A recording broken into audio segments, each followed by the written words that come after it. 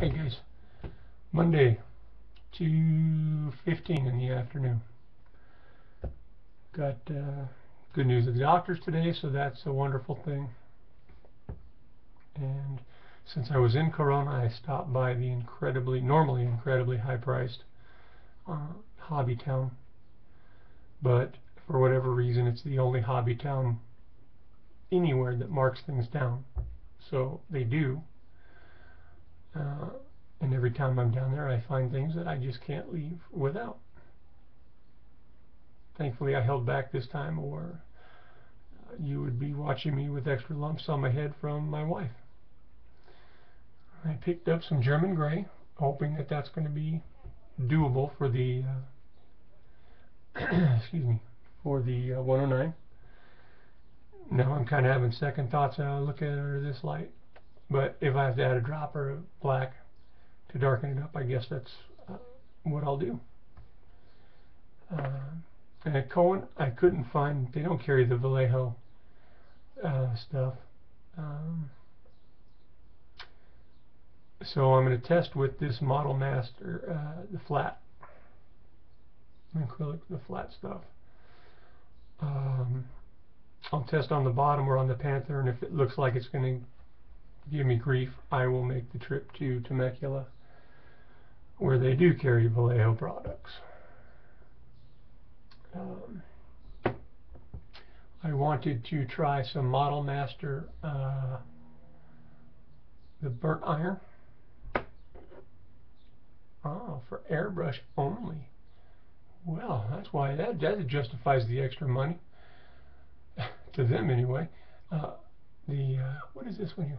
Magnesium, uh, steel, and now let's move on to model kits. They had a ton uh, of kits down there, even some Hasegawa plane kits, but and they were marked down pretty good, but the price was originally so jacked up, that's why they're still sitting there, and why the dust on the boxes, uh, they're going to sit there until they're marked down to 75% off. So, and even at then, the owner's been making money. So, uh, let's see here.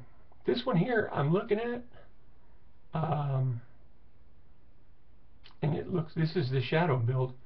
To me, piece for piece, it looks exactly like the shadow build. I don't see. Now, there's only the front picture on the box. Hasegawa doesn't show completed kits. It's one of those uh, maybe that's an Asian deal. I don't know.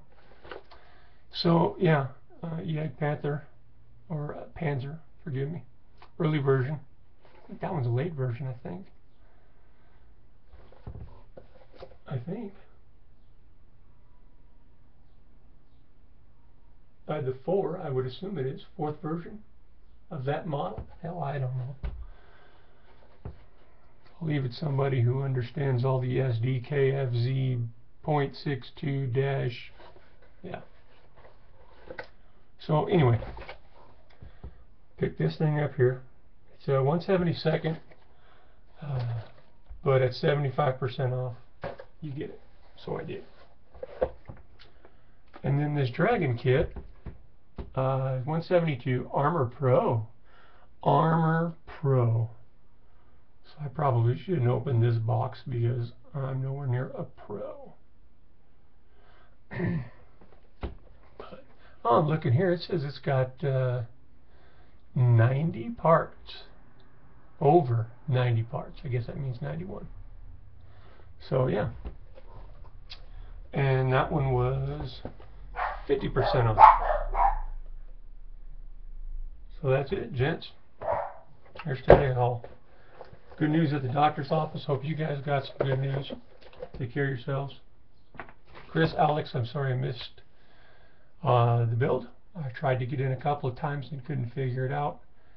And we'll continue to try on the next one. Take care, guys. Talk to you later. Bye.